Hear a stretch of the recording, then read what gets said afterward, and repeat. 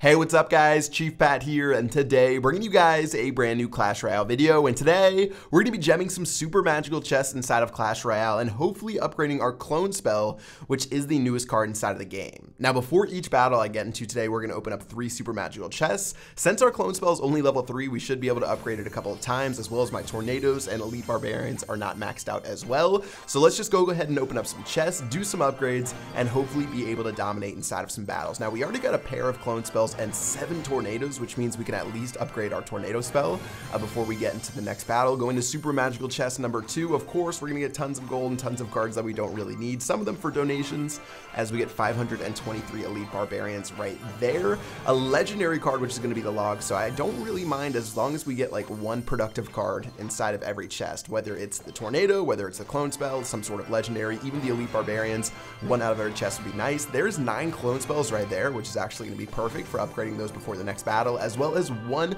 uh, Inferno Dragon, which works out really well, and let's go ahead and do those upgrades. Now, checking out our deck, our clone spell is only level 3, so getting it to level 4 is crucial to bring it to the tournament standard, so we're going to go ahead and upgrade that right now, and let's go ahead and head into a battle before we open up our next three super magical chests using this cloned Lava Hound deck. Now, everyone's been playing the clone Lava Hound. It's just so much fun to play, and it's hard for your opponents to counter because it uses so many of their spell cards, whether it's the Zap or the arrows to break open the Lava Hound. It's just really tough to deal with. So I'm going to go ahead and keep playing it today. Hopefully we can find some success with it. I'm sure you guys have seen a lot of this on the leaderboard. If you have, let me know what you think about the clone Lava Hound uh, in the comments section below and how you like to beat it.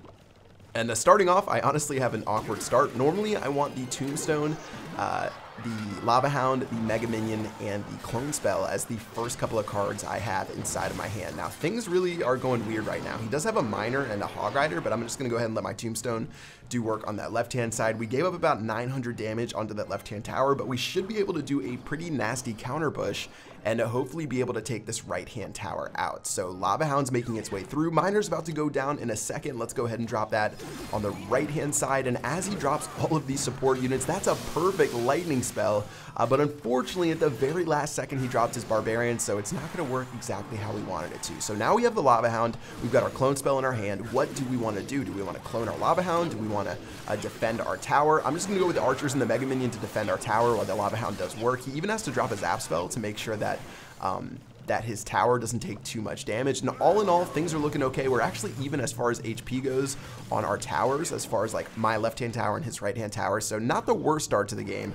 And uh, we do have a way better selection of cards right now. The only card that I'm missing is the Mega Minion. The Mega Minion is just such a strong defensive and offensive card that I wish it was in my rotation right now, but I did have to use it inside of that last play. So let's go ahead and set up with our Lava Hound, get ready for his Hog Rider, and uh, that's why I have the Tombstone in my hand. So there's the Hog Rider, and there's the Lumberjack as well, so I'm going to zap both of those down, hopefully able to stop them before they do too much work. Again, I do have to drop my Mega Minion to make sure the Hog Rider doesn't destroy my tower, and now it's just the Lava Hound by itself. So I'm going to go ahead and clone the Lava Hound in just a moment and that's going to make it so we have a pretty awesome offensive assault. We've got that one Lava Hound that he just zapped, which was a huge mistake because now we have 12 Lava Pups beating down onto his tower as well as our Miner. That tower is as good as gone, and uh, that's what happens when people don't know how to play against the clone spell. He used to zap against my Lava Hound thinking it was a good play, but actually it just made my offensive push that much stronger, and uh, now we have a pretty awesome lead going into the rest of the battle. Now his Hog Rider did run right towards my tower, which isn't the best.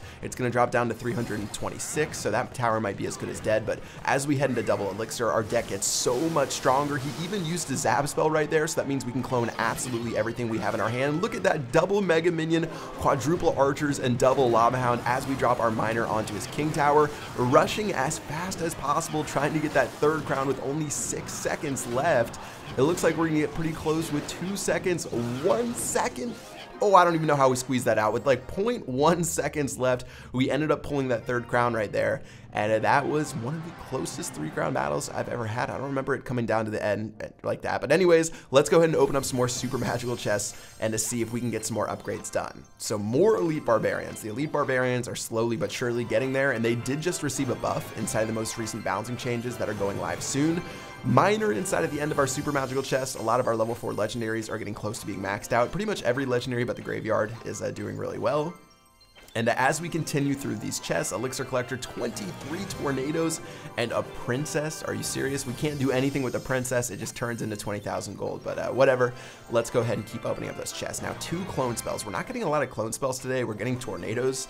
Um, I guess since it's older than the Clone Spell, maybe there are 21 more Tornadoes. I feel like something in the algorithm makes it so they want to give us more Tornadoes. So let's go ahead and upgrade the Tornadoes since they're giving us so many of those and upgrade it up to level 7 and only one more level to upgrade our Tornado up to max. So uh, we'll go ahead and keep collecting those and get that done as soon as possible. But again, I'm focused on the clone spell. I'm not too big on the tornado. It has some really fun interactions.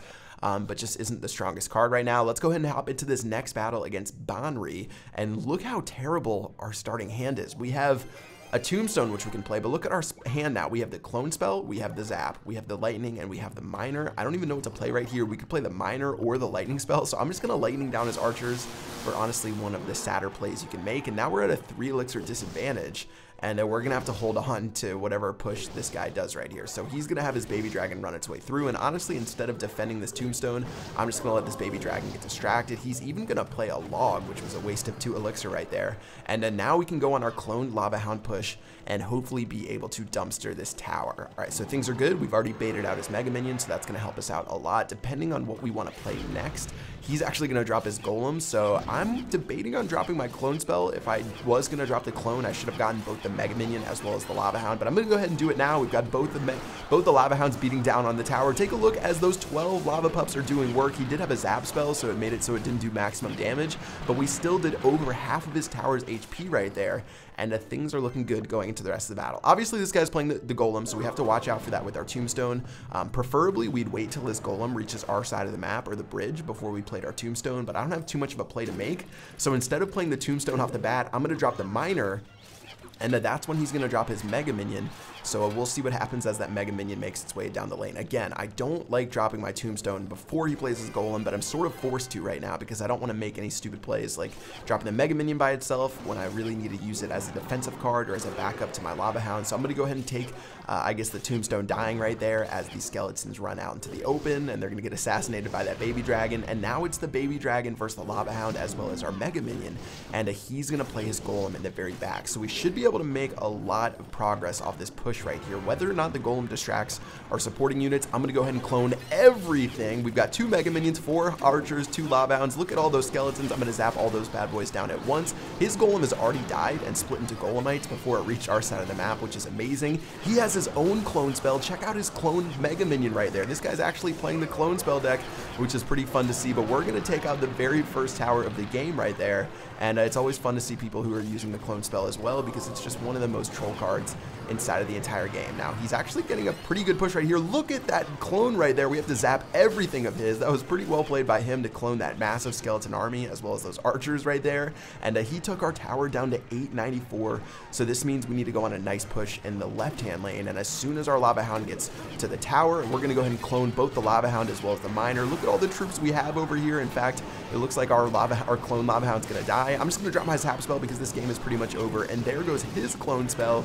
And uh, that is going to wrap up the end of a game. So pretty wacky battle, Clone Spell versus Clone Spell, but it was fun to play against Banri. Personally, I think the Clone Spell is better with the Lava Hound, but maybe I'll show you guys the Golem inside of a future video. Uh, but yeah, that is going to do it for that battle. Let's go ahead and head back to the shop and open up some more super magical chests. We've got another one right here, hoping for some clone spells. We're to pass 300,000 gold, some more elite barbarians, and of course, every super magical chest has 23 epics, so normally we're to get either the tornadoes or uh, some of the clone spells. We're actually to get both inside of this chest, so that means we can upgrade our clone spell up to level 5 off that first one, and uh, these next two chests are just gravy. Now, the elite barbarians are making their way there slowly but surely. I wish we got 500 elite barbarians inside of every single chest. We're going to get the graveyard inside of this super magical chest, uh, which is another card we desperately need to upgrade.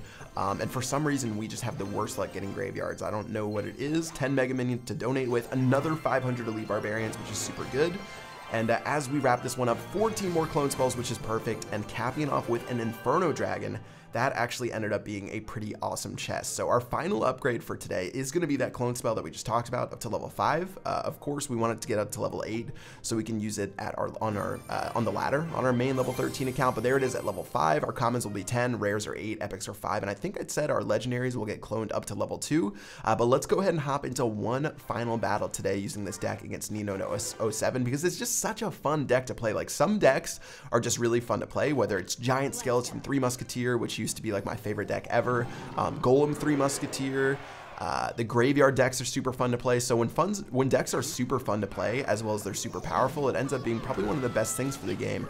And uh, let's just go ahead and defend against Nino 07 before we whip out our cloned Lava Hound. Now he's using the Lumberjack and the, the Hog Rider, which a lot of people have been playing. In fact, his Princess locked onto our Mega Minion, which is just a little bit unfortunate. So we're gonna have to drop our archers to kill that Princess. We've got the Lava Hound running towards the tower. We can actually use our Miner to kill this Musketeer as well as tank this tower. So watch what happens when the Lava Hound splits.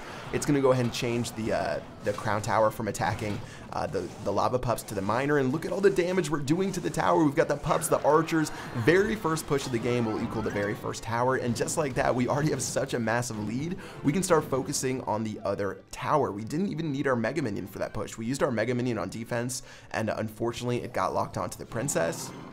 And now I'm going to drop my Lava Hound to make sure the Princess locks onto the uh, Lava Hound this time because I dropped it in the very center. And let's go on another push with the Lava Hound and the Mega Minion and to see what Nino 07 is going to do to counter us. So I thought he might go on a counter push with the Lumberjack and the Hog Rider. And there it is right there. He did it a little bit later than what I thought. Here come my archers to help out against the Lumberjack as well as the Hog. He's only going to get a couple of hits off against the tower. And meanwhile, on his side of the map, uh, we're actually going to get some decent damage against his tower as well.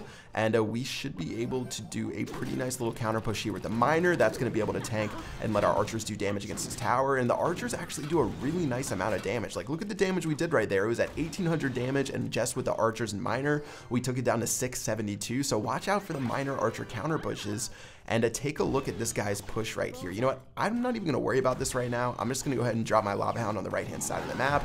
This guy's got such a big push over here. I'll just use my Mega Minion to kill the Princess. I'll let him take that tower right there, uh, just because I know there's no point defending it. Why not just dominate the other side of the map? We've already got it down to 672. Check out my Archer placement. My Archers will help out my Lava Hound after they kill this uh, counter push right here. And even though we took a bunch of King Tower damage, I'm really not that worried at all because we have such a nice counter push with our Lava Hound. We've got the clone spell as well. And take a look, as soon as my Mega Minion makes its way to the clone spell circle, I'm going to clone both of those Okay, maybe the Mega Minion's to die anyways to the Princess, but that's not the point. We're to take down that second tower of the game. We've got a Miner onto the Princess. The Miner's to tank that King Tower in just a moment. All these Lava Pups doing work. We've got the tower down to 500, 200. The game is over. And that is going to do it for our final battle using this crazy lava clone deck. Guys, if you haven't tried it yet, I recommend you do. If you don't have the Lava Hound, of course, I am sad, or the clone spell as well. But you'll make your way there eventually to be able to try this deck out. Who knows if Supercell will nerf it or anything like that, because I haven't seen it at the top of the leaderboard, uh, but that's maybe because people don't have their clone spells maxed out. Oh, who am I kidding? Those people spend like tens of thousands of dollars. They probably have maxed out clone spells. I don't know why it's not at the top of the leaderboard. It seems like a really fun deck to play. Try it out, and let me know what you guys think in the comments of this video. That's to do it. Hope you guys enjoyed this video. If you did, make sure you smack that like button. Really excited for the update coming out soon. Make sure you stay tuned for sneak peeks. Until next time, I will see you guys later. Peace out.